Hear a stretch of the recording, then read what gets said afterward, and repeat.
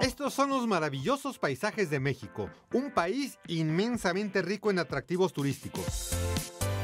Cálidas playas y mares, la alegría en sus calles, la flora y fauna, los vestigios históricos, el ecoturismo o las grandes ciudades, entre otras muchas cosas, lo convierten en el noveno país más visitado del mundo con 32 millones de turistas internacionales cada año.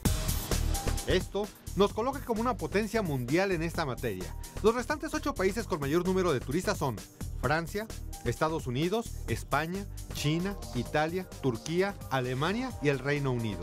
Este año, el país superó a Rusia, Tailandia, Austria, Malasia y Grecia. Basta con ver esta cascada de agua junto al río, enmarcado con un puente ferroviario para entender por qué en América Latina México se consolidó como la nación con mayor número de visitantes, superando a Brasil, Perú y Argentina. Esto implica una importante derrama económica. Tan solo el año pasado, el turismo aportó más de 17 millones de dólares, lo que podría resultar atractivo para inversionistas que fomenten el empleo en México. Pues esta nación es un país que de verdad dan ganas de recorrer de costa a costa y de frontera a frontera, disfrutando de todos sus atractivos y desde luego apreciando la calidez que ofrecen los prestadores de servicios.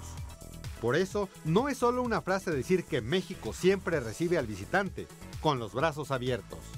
Para quien corresponda, reportó Alfonso Vargas Torres.